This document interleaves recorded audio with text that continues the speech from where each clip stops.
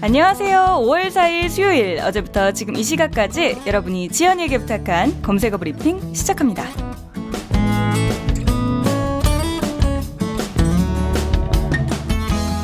황금 연휴 혜택 6일이 임시공휴일로 지정되면서 5일 어린이날부터 8일 어버이날까지 나흘간의 황금 연휴를 즐길 수 있게 됐는데요. 정부는 이번 임시공휴일에 다양한 혜택을 제공하는 등 내수 경기 활성화에 박차를 가하고 있습니다. 국민들이 체감할 수 있는 혜택으로는 먼저 전국 고속도로 통행료 면제입니다.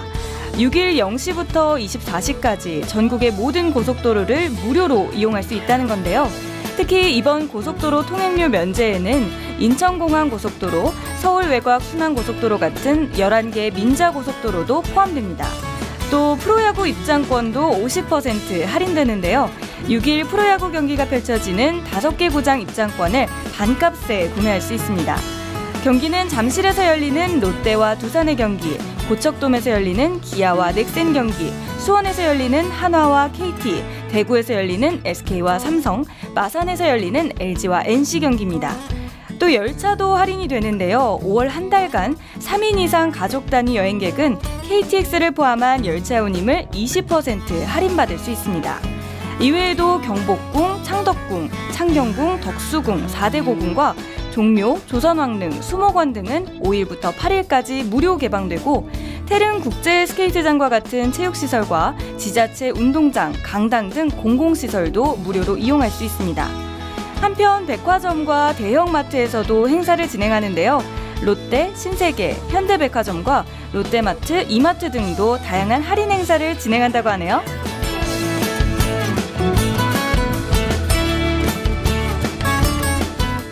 악동 뮤지션 컴백 KT 페리 올랜도 블룸 열애 사형돼지 무산 조세호 불참 개그 왜 안 왔어요 SNS상에서 개그맨 조세호 씨의 왜 안 왔어 열풍이 거세게 불고 있습니다.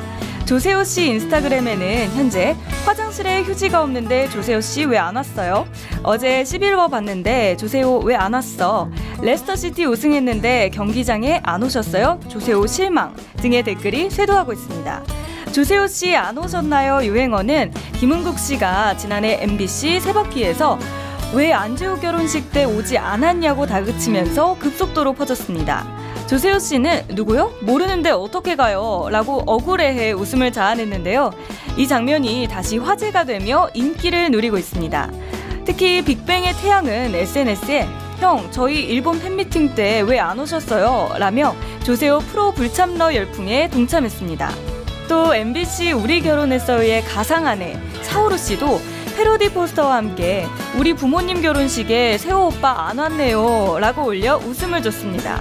심지어 부산지방경찰청은 트위터에 오늘 우리 부산경찰청 전국 최초로 해양범죄수사대 발족했는데요. 조세호 씨 왜 안 오셨어요? 라고 남겨 웃음을 줬네요.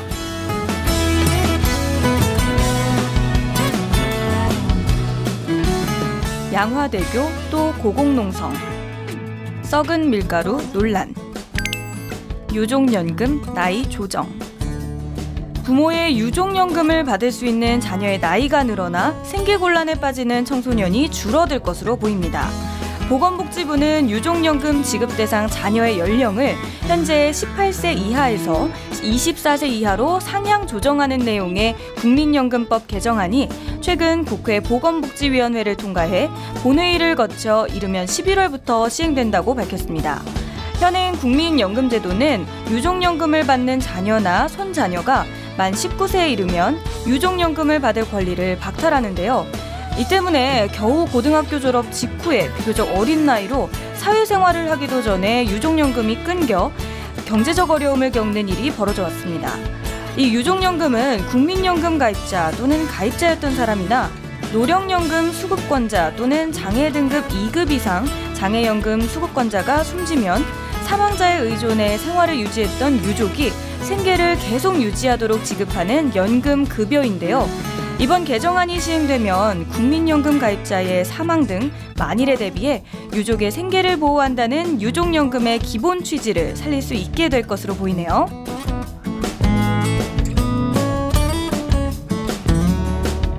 유익한 정보가 되셨나요? 저는 다음 주에 다시 여러분이 놓친 검색어들을 모아 모아 찾아올게요. 지금까지 정지현이었습니다.